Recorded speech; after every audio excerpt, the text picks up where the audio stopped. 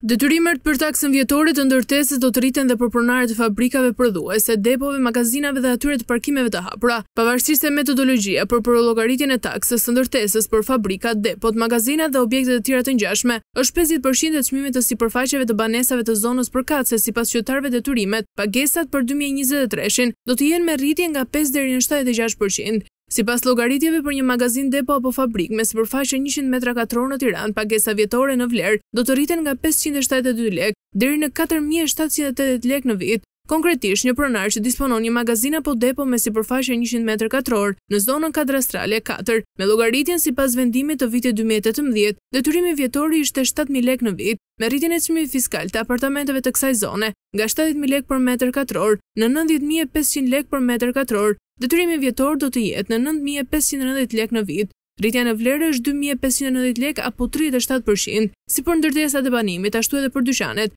garazhet dhe në rastin e ndërtesave të kategorisë për përdorim industrial rritja më e lartë e detyrimit për t'u paguar me taksën e pasurisë është në zonën shtatë fraksion katër, ku është shënuar rritja më e lartë e çmimeve fiskale. Taksa e ndërtesës llogaritet mbi vlerën e pronës, ku pavarësisht kategorisë së saj, bazat janë çmimet e referencës së apartamenteve. Ish-ministri i Shëndetësisë Ilir Beqaj do të ripyetet sërish në spak për koncensionin e sterilizimit. Në dyert e Prokurorisë së Posaçme do të pritet të mbërrijnë edhe katër ish-zyrtarë të tjerë, për cilët gjykata ka sugjeruar hetimet. Beqaj do të pyetet në lidhje me udhëtimet që ka kryer në drejtim të Italisë dhe Vienës, me ish-zëvendësin e tij Klodian Rrjepaj dhe biznesmenin Ilir Rrapaj. që fitoi koncensionin për sterilizimin e seteve kirurgjikale. Sa i përket njohjes së tij me biznesmenin Ilir Rrapaj dhe Umbro Sacini, ish-ministri i Shëndetësisë thotë se i ka njohur pasi mori detyrën dhe kontratat me ta i ka firmosur për nevoja pune. Beqaj deklaronte se ishte e nevojshme krijimi i një operatori të vetëm për të bërë sterilizimin e pajisjeve mjekësore pasi centrali i sterilizimit në QSUT nuk mbulonte nevojat për të gjitha spitalet në vend. Qëllimi kryesor sipas tij ishte ndalimi i rrënimit të asaj çfarë gjetëm dhe shlyerja e dyzet milionë dollarëve borxh të trashëguara nga qeverisja e mëparshme. Sipas Beqajt koncesioni i sterilizimit solli ndryshim në kirurgjinë shqiptare, pasi sipas tij në vitin dy mijë e katërmbëdhjetë nuk kishin as dijet e as paratë për të bërë të vetme një sipërmarrje të tillë.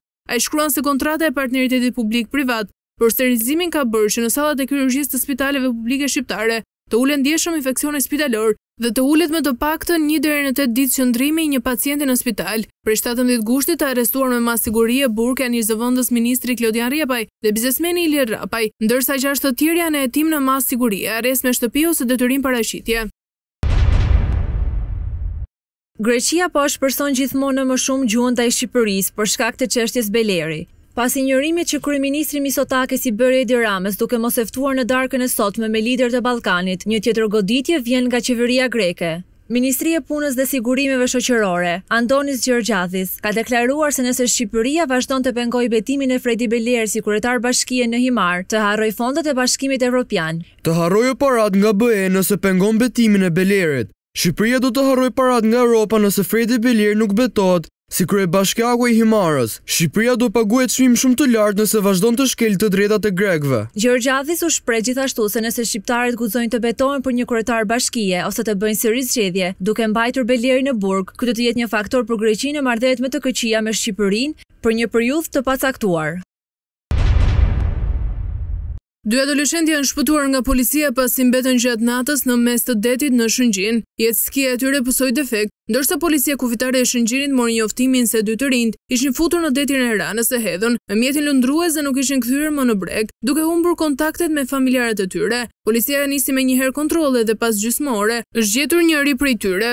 Rreth pesë milje larg nga bregu, shtatëmbëdhjetë vjeçari pasagjer i jet ski, i cili po tentonte të dilte në breg me not për të kërkuar ndihmë, Atij i është dhënë ndihma e parë, ndërsa më pas është gjetur dhe shoku i tij tetëmbëdhjetë vjeçar, i cili ka qëndruar në jet ski-n, e cila rrezikonte të fundosej. Gjithashtu shërbimet e Policisë Kufitare dhe të Njësisë Policore Detare kanë tërhequr në breg mjetin lundrues jet ski, që kishte pësuar defekt. Të dy adoleshentët që u shpëtuan nga shërbimet e Policisë Kufitare janë në gjendje të mirë shëndetësore. Ata dhe familjarët e tyre kanë falënderuar shërbimet e Policisë Kufitare për ndërhyrjen e shpejtë dhe ndihmën që iu ofrua. Shkrimtarja Kimete Berisha ka komentuar skandalin për të cilin janë arrestuar tre persona me dyshimet për keqpërdorim të fondeve për rezervat shtetërore. Ajo ka thënë se Albin Kurti, Rozeta Hajdari dhe Ridvan Muharremi janë të dyshuar për vjedhjen e 3% të grurit të rezervave shtetërore. Në profilin e saj në Facebook, Berisha ka shkruar se Kurti ka vjedhur bukën e popullit më të varfër në Europë. Në qeveri nuk mund të vidhet as një copë letër, Pa thënë ministri po. Prandaj Albin Kurti në bashkëpunim me Rozeta Hajdarin, me bukëpjekësin e Bukë e Zemër dhe me të tjerë është i dyshuar për vjedhjen e tre për qind të grurit të rezervave shtetërore. Ka shkruar Kimete Berisha, sipas së cilës, Albin Kurti është djegur në zjarrin e ministres Hajdari. E mori në mbrojtje hyri garant për të dhe fajtorët e tjerë duke akuzuar Prokur drejtësin si të korruptuar, nuk është e domosdoshme që prokurori të jetë i shenjtë që të konstatojë hajninë e grurit. Albin Kurti po shfrytëzon tensionet e brendshme dhe të jashtme për të mbuluar hajnitë e veta, ka shkruar Berisha. Kryetarja e Komitetit të Helsinkit për të Drejtat e Njeriut në Serbi, Sonja Biserko, ka thënë se letra që kryetarët e Komisioneve Parlamentare për Punë të Jashtme të Shteteve të Bashkuara të Amerikës, Mbretërisë së Bashkuar, Gjermanisë e disa vendeve të tjera, u kanë dërguar kryediplomatëve evropian-amerikanë, ku i kërkohet që të kenë një qasje më të ashpër dhe më të vendosur ndaj presidentit serb Aleksandër Vuçiç, e kanë vënë në presion të madh këto të fundit. Po ashtu Biserko ka kritikuar ministrin e Mbrojtjes së Serbisë Millosh Vuçeviq, i cili një ditë më parë deklaroi se Mali i Zi dhe Maqedonia e Veriut i kanë bërë keq Serbisë duke njohur pavarësinë e Kosovës. Deklarata ekstremiste e ministrit të Mbrojtjes së Serbisë është zëri i Moskës, por edhe pasojë e kritikave të Perëndimit ndaj Aleksandër Vuçiç, të cilat tani pothuajse janë të përditshme. Ajo shpjegoi se kritika ndaj Shkupit dhe Podgoricës për shkak të njohjes së Kosovës nuk janë të reja dhe theksoi se kërcënimi i Vuçiçit se këto dy vende të përfundojnë si Ukraina, tregon se situata në Ballkan ka mundësi të përshkallëzohet. Nëse gjithë kësaj i shtojmë dhe ndërhyrjen e Beogradit në formimin e qeverisë në Malin e Zi, nuk do ta nënvlerësoja mundësinë që regjimi serb të bëjë diçka që mund të prishë qetësinë të rajonit. Ky është qëllimi i politikës ruse, teksa sheh se koha po i ikën për Perëndimin, sepse vitin e ardhshëm janë zgjedhjet në SHBA, dhe bashkë me Beogradin do ta përdorin vakumin e krijuar për të mbajtur rajonin në tension, deklaroi Biserko. Ministri i Punëve të Jashtme i Serbisë, Ivica Daçiç, ka thënë se kjo javë do të jetë jashtëzakonisht e vështirë për Serbinë, pasi sipas tij Perëndimi do të bëjë presion të shtuar me synim që Beogradi të vendosë sanksione ndaj Moskës. Ai deklaroi për televizionin pro-qeveritar Pink News se respektimi i politikës së jashtme të BE-së nuk është problemi i vetëm në marrëdhëniet e Serbisë me këtë organizatë, por dhe se ka diçka tjetër. Shqipëria mburret se është njëqind përqind e lidhur me Bashkimin Europian dhe pyet se përse nuk po hapen negociatat. Disa vende fqinje marrin vetëm kërkesa dhe i zbatojnë ato menjëherë. Kjo tregon se problemi ynë në marrëdhënie me Bashkimin Europian nuk është vetëm respektimi i politikës së jashtme të Unionit, ka thënë Daçiç. Për presionin në rritje këtë javë ka folur para disa ditësh edhe presidenti serb Aleksandër Vuçiç. Mesazh me flamujt e Serbisë dhe Rusisë u shfaqën në ndërtesën e një prej shtëpive kryesore mediatike ruse, Rusia Sevodnja, dhe disa të tjerë në qendër të Moskës. Në flamuj ishte mbishkrimi Rusët dhe serbët vëllezër përgjithmonë si dhe grafiti, kur ushtria të kthehet në Kosovë, raportojnë mediat serbe. Përveç Moskës këto mesazhe u shfaqën edhe në Shën Petersburg. Jekaterinburg dhe tre shtete të tjera. Aksione të ngjashme u kryen dhe në fillim të vitit në përvjetorin e shpalljes së pavarësisë së Kosovës, kur në Moskë u organizua një protestë para ambasadës së Serbisë. Në atë kohë protestuesit mbanin pankarta ku thuhej, NATO është vrasësi i botës sllave, Kosova është Serbi dhe rusët dhe serbët janë vëllezër përgjithmonë.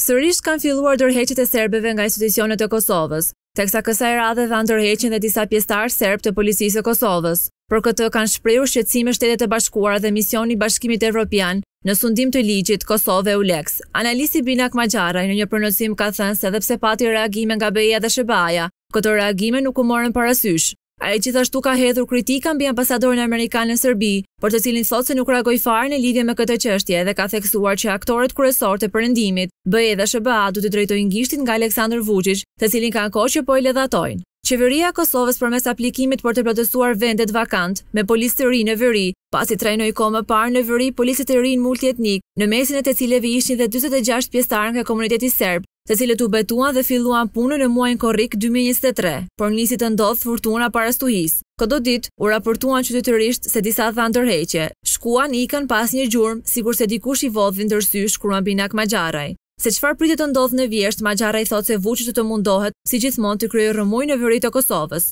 Në fund vera po kalon, vjeshta po afrohet, furtuna po kalon dhe natyra po ndryshon pamjen nga e gjelbërta në të verdhë, duke ia lëshuar vendin një stuhie, dhe më të madhe kur kriminelet grupet kriminale të presidentit të Serbisë do të krijojnë rrëmujë dhe stuhi përsëri në veri të Kosovës me rastin e zgjedhjeve lokale atje sepse Vuçiç nuk është interesuar për dialog por për të ruajtur Eldoradon serb të krijuar atje sepse ato duan vetëm floririn e veriut. Vapa përvëluese dhe moti i thatë këtë verë kanë shkaktuar zjarre të fuqishme në pjesë të ndryshme të botës nga Shtetet e Bashkuara të Amerikës në Europë. Me mijëra hektarë tokë është djegur e shumë banorë janë detyruar të braktisin shtëpitë e tyre. Shkencëtarët thonë se ndryshimi i klimës ka çuar në ngjarje më të shpeshta dhe më të fuqishme të motit ekstrem. Vetëm në shtetin lindor amerikan të Uashingtonit, si pasojë e zjarreve janë shkatërruar njëqind e tridhjetë e pesë ndërtesa, pjesa më e madhe të cilave, shtëpi banimi. Në Kanada, mijëra banorë të British Kolumbias janë urdhëruar të evakuohen pasi zjarret detyruan këtë zonë perëndimore kanadeze të shpallte gjendjen e jashtëzakonshme. Tani ushtria ka marrë situatën në dorë dhe po ndihmon në përballimin e situatës. Zjarret ndërkohë po vazhdojnë të shkatërrojnë tokë e pyje dhe të rrezikojnë jetë njerëzish edhe në Europë. Zjarret kanë përskuqur qiejt e ishullit spanjoll Tenerife të dielën, ndërsa një zjarr i egër që shpërtheu në veri të ishullit mbeti jashtë kontrollit. I nxehti përvëlues dhe moti i thatë këtë verë ka kontribuar në krijimin e vatrave të zjarrit, dhe në vendin tonë, siç është rasti i Qeparoit, mbrëmjen e së shtunës. Si pasojë u dogjen me dhjetëra hektarë tokë dhe u rrezikuan shtëpi dhe plantacione ullinjsh.